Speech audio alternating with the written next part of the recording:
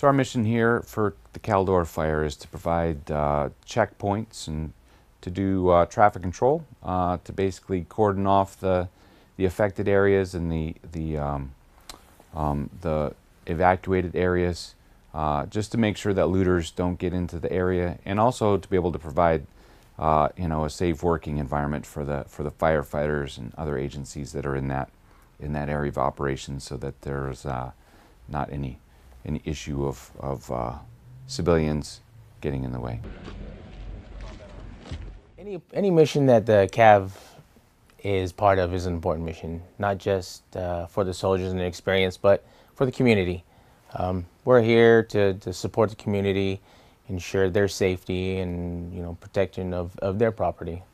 I think this is important for us just uh, to be able to reinforce the fact that we are citizens among our communities and and as citizen soldiers, we can really come in and, and help the, the citizens of California and uh, we provide a, a, real community service. We're not military police, but uh, the CAV in theater, we do conduct TCPs as well. Um, so we are trained in, in the TCP operations.